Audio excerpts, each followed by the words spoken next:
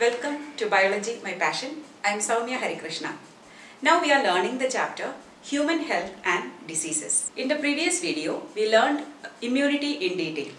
So today we are going to discuss a disease that is affecting the immune system. That is immunodeficiency disease, which is an infectious disease, nothing but AIDS. The full form of AIDS is acquired immunodeficiency syndrome. That is, we are acquiring over a lifetime deficiency of our immune system.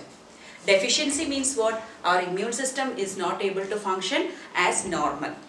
And syndrome. Syndrome means collection of symptoms. So because of the immune deficiency, we fall sick quite often or we are susceptible to many infections around us. So we get a lot of symptoms, one after the other, different infections. So it's collectively called as syndrome.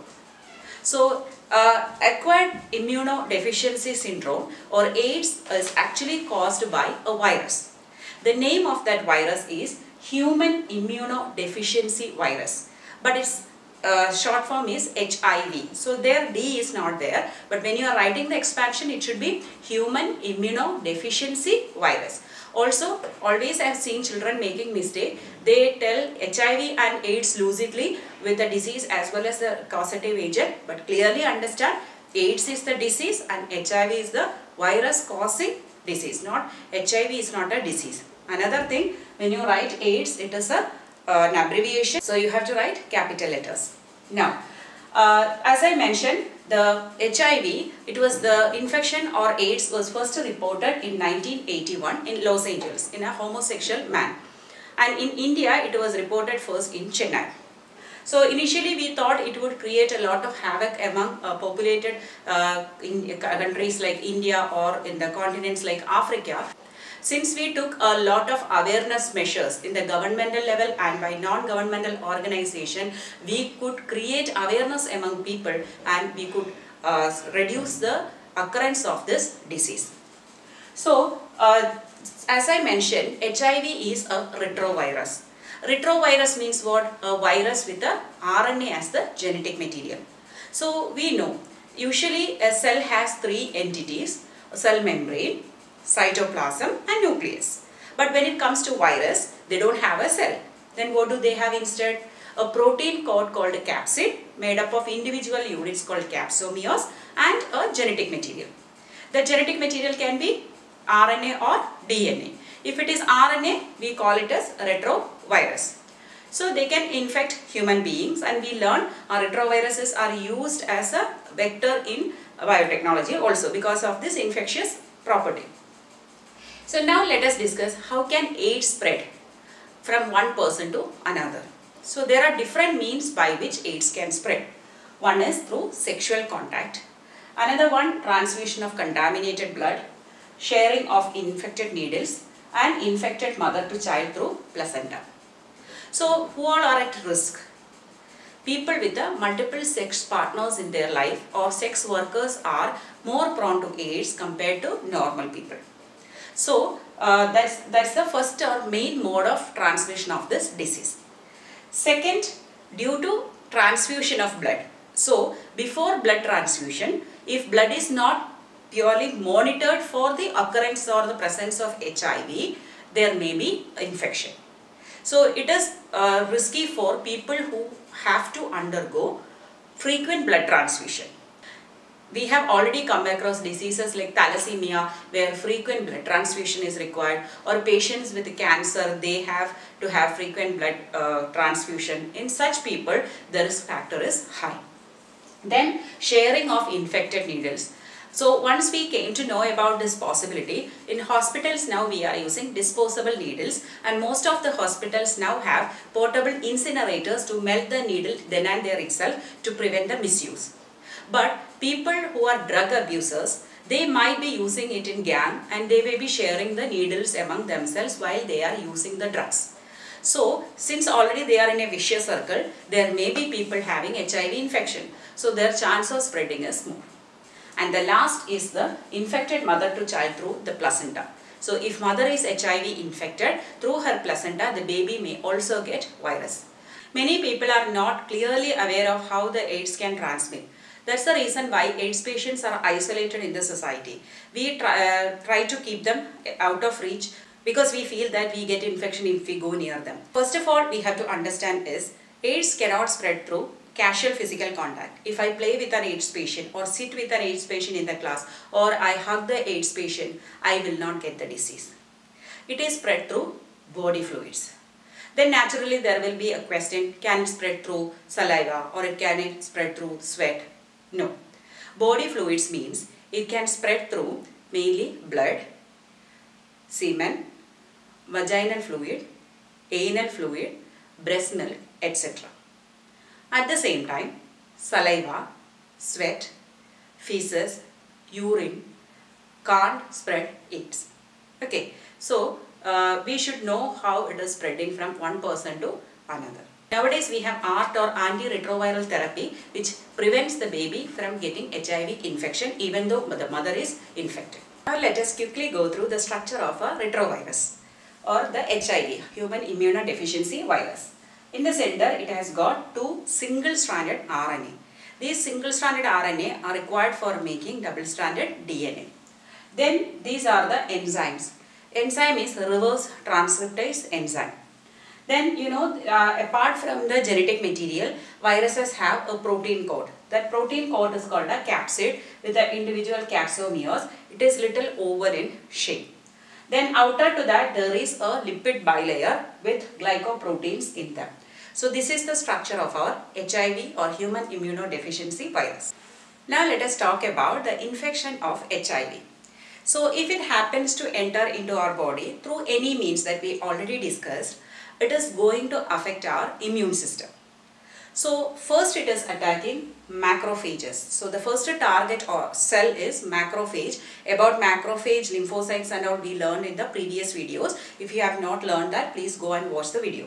So macrophages are first attacked followed by that helper T lymphocytes. So this is a very important question for you. Which cells are attacked by HIV after entering into our body? So the first it is macrophages. Now the question is which are the cells targeted by HIV? Macrophages and helper T lymphocytes. Because after multiplying in macrophage only they will target helper T lymphocytes. Now how do they attack? So suppose this is a macrophage the macrophage has got certain receptors on its surface. They are called CD4 receptors. So the receptors can uh, bind the HIV. So once HIV comes inside the body, it will go and bind with the receptors on the surface of macrophages. Now, after binding with that, the virus will induce or inject its uh, in, uh, RNA into it. We know whenever a virus is attacking a cell, its protein coat cannot go inside only the genetic material will go inside. So RNA is sent inside. So both the RNA strands will be sent inside single stranded RNA strands. But we know if it has to multiply, it has to get incorporated with this DNA. It is not possible for an RNA to get integrated into a DNA. So what should happen? The reverse transcription. That is RNA should become DNA. So we already learned transcription is DNA making RNA. It's reverse. RNA making DNA is reverse transcription. For the reverse transcription to happen, an enzyme reverse transcriptase is required and that enzyme who will bring? The virus will bring because we saw in the structure. So the virus using the, its own enzyme will make the RNA into double-stranded DNA. Now that double-stranded DNA will get incorporated into it. So using an enzyme called an integrase. So when the genome of the macrophage multiplies, along with that the viral DNA also multiplies. But after that large number of DNA will form. That DNA will again get converted into RNA and each RNA will make its own protein coat. They have the genetic information for making. So they will make one one protein code. So they multiply. Suppose if it, there were 100 copies made, all 100 viruses formed. So this is uh, how macrophage is acting as a viral factory. It is, it is producing large number of viruses. Now once they uh, multiply in large number, they come out of the macrophage. Now whom are they looking for? T lymphocytes. Helper T lymphocytes. What is the function of helper T lymphocytes? that will be helping the B lymphocyte to produce antibody. So it will go and uh, attack this helper T lymphocytes over a period of time. The helper T lymphocytes number will considerably reduce. Thereby the patient will not be able to produce antibodies and thereby acquired immunity is affected. So his immune system becomes deficient.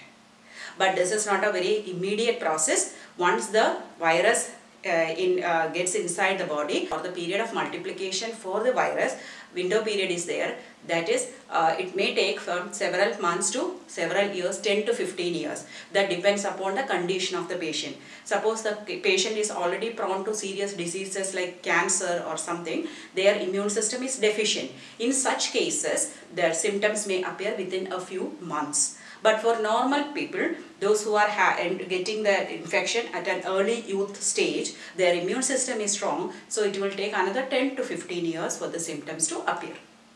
Now, since they are losing their immune system or their power to resist the infectious agents, these patients will start showing recurrent fever. Every now and then they are fever after fever after fever along with the diarrhea and considerable weight loss also will be there.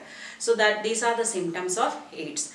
Because suppose we get a rhinovirus inside, it can cause cold to us. And as I have already mentioned, if you treat or take medicine, it will go off in 7 days. If you don't treat, it will take 1 week. That means almost the same only, right? Why we are able to get rid of it? Because our immune system is working.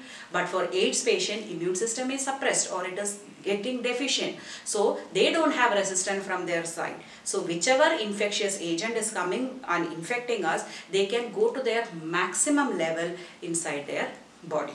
Okay. So as a result, mycobacteria, mycobacteria are the ones causing the uh, TB or the infection with the, any other parasites, uh, bacteria, fungus or viruses or a toxoplasm, uh, these are all uh, can cause severe conditions in the patient and ultimately leading to death because there is no actual symptom about HIV. So it's like a HIV symptom. No, it's a collection of all the infectious disease leading to their death. In this case, death is inevitable. But due to this uh, retroviral, antiretroviral therapy, we can prolong the lifetime for a little bit nowadays, but still inevitable death is awaiting them. Uh, usually the test, uh, the in infection is uh, diagnosed by a test called ELISA that we learned in molecular diagnosis and uh, confirmatory test is by Western blotting. As of now, there is no effective treatment or complete cure for AIDS. So in such case, what should be our approach? Prevention. We know uh, suppose you are getting typhoid or pneumonia or COVID or anything, these are all caused by viruses. They are entering our body without our knowledge. That is, it's not our fault that we got the disease. Whereas, in case of AIDS, it's not like that. It is our responsibility to make sure that this virus is not entering our body or we can prevent the entry of AIDS virus. Okay. So, that's why the tagline of the AIDS is don't die of ignorance. Some uh, those people who are leading immoral life are actually getting prone to such diseases. So it's purely their responsibility that they invited this disease. So, but in uh, rare cases we saw from mother to child or a blood transfusion all can also happen. So, you should, uh, when the AIDS was reported, uh, the NACO that is National AIDS Control Organization of India and also NG, NGO that is uh, non-government organizations, they played important role in bringing about awareness among people, especially the sex workers and the youth who are not aware of it. And from the government side also, they take a lot of precautions to prevent this. WHO also came up with a lot of programs to uh, help or to prevent the spreading of AIDS. The first thing was we know the sex, sex is the main uh, reason why it is spreading. So uh, uh, uh, availability of condoms was made so that the people would use it and you know condoms are actually contraceptive methods. It's not only giving contraception but protect from STD. So the people were made aware of the, the need for using condoms uh, during sex. Then they were advocated safe sex or the practices and also uh, the measures were taken to prevent drug abuse among the youth or other people. Also uh, monitoring of blood in different clinics and hospitals and also the prevention of the reuse of needles. All these measures were taken by uh, the various agencies, government and WHO so that we could control spreading of AIDS to a larger extent. So being the next uh, responsible citizens, you should also know about the reasons of AIDS and we all have to take measures to keep ourselves away from all these kind of uh, unhealthy practices uh, which can affect our health.